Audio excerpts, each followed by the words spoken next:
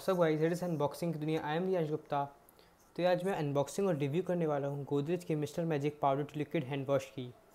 तो ये गोदरेज ने एक नया प्रोडक्ट निकाला है, जिस पे अपन को एक पाउडर मिलता है, जिससे आप पाउडर को वाटर में मिलाने से ये एक हैंड वॉश बन जाता है। तो ये रहा इसका आउटबॉक्स चलो पहले अपन इसके आउटबॉक्स को देख लेते हैं, इसके ऊपर क्या लिखा हुआ है। तो सबसे पहले अपन को फ्रंट इमेज दिख जाती है, किस तरीके का है, और यहाँ पे आप देख सकते लिखा हुआ है विथ नीम एंड एलोवेरा और यहाँ पे इस पर इतने ही बड़े पैकेट में पाउडर आता है, यहाँ पे स्टेप्स दिए गए हैं किस तरीके से आप इसको मिलाएँ।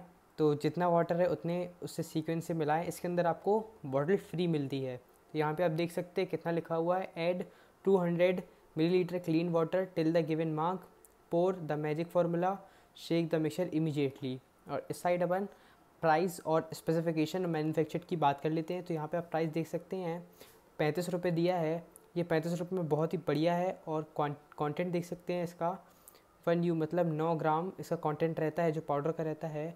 और यहाँ पे आप मैन्युफैक्चर देख देख सकते हैं, इसकी लिखी हुई है एट एटीन और ये ट्वेंटी फोर मंथ्स तक इसकी जो मैन्युफैक्चर्ड है मतलब इसकी जो लाइफ है, वो ट्वेंटी फोर मंथ्स तक रहेगी। तो ये हो गई इसकी आउटबॉक्स की बात। चलो अपन इसके देख, खोल लेते हैं इसको और देखते हैं इसके अंदर अपन क्या मिलता है।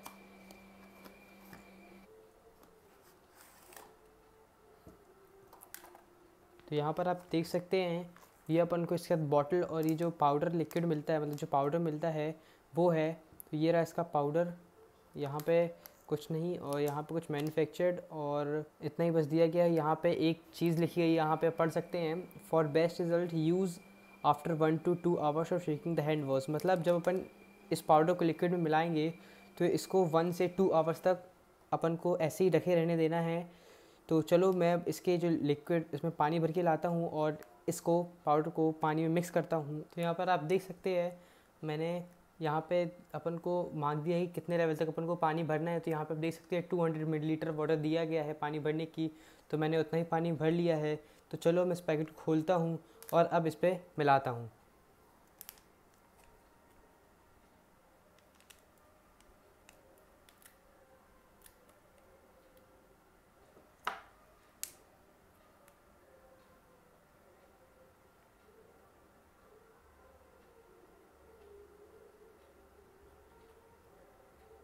लाइट, बहुत ही ज़्यादा लाइट, ग्रीन कलर का पाउडर है। तो चलो मैंने इसको बॉटल पे मिला दिया है तो अब मैं इसको शेक करता हूँ।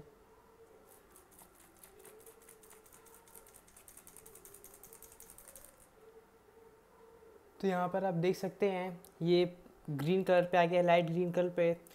तो जितने जो स्टेप्स पे लिखे गए थे, वो अपन ने यू, कर लिए हैं। और मैं अब आपको मिलता हूँ दो घंटे बाद। तो दोस्तों, मैं दो घंटे बाद वापस आ गया हूँ। इस पाउडर को देखने जो अपन ने पाउडर वाटर पे मिक्स किया था तो आप यहाँ पे देख सकते हो, ये ग्रीन कलर पे मिल जाता है अपन को। और जो अपन ने इसको मिक्स किया था, वो पूरा मिक्स हो गया है। तो चलो, मैं आपको इसका यूज़ बताता हूँ और जो इसकी स्मेल है, वो किस तरीके की है। तो चलो, अपन इसकी थिकनेस देख लेते हैं। तो यहाँ पर आप देख सकते हैं, ये बिल्कुल थिक हो गया है। जैसे पानी पानी जैसे अपन ने पाउडर मिक्स किया तो दो घंटे बाद ये पूरे तरीके से मिक्स हो जाता है बिल्कुल थिक हो जाता है।